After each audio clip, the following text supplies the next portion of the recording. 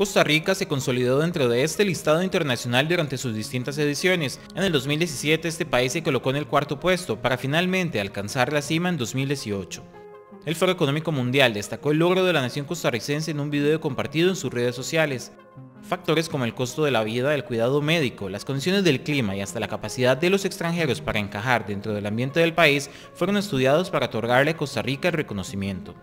Según el reporte, Costa Rica ha estado hospedando jubilados y otros expatriados por más de 30 años, y razones como la calidad de su gente, la seguridad y estabilidad de la nación siguen vigentes en la actualidad.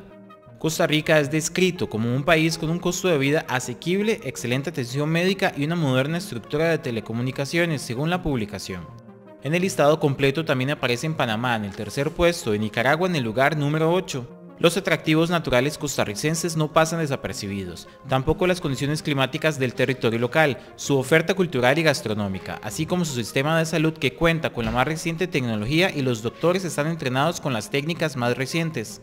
Con su ritmo de vida más lento, clima cálido y acogedor, alimentos frescos y saludables y una reputación como uno de los países más verdes y limpios del mundo, no es de extrañar que los costarricenses sean considerados las personas más felices del planeta, concluyó el informe.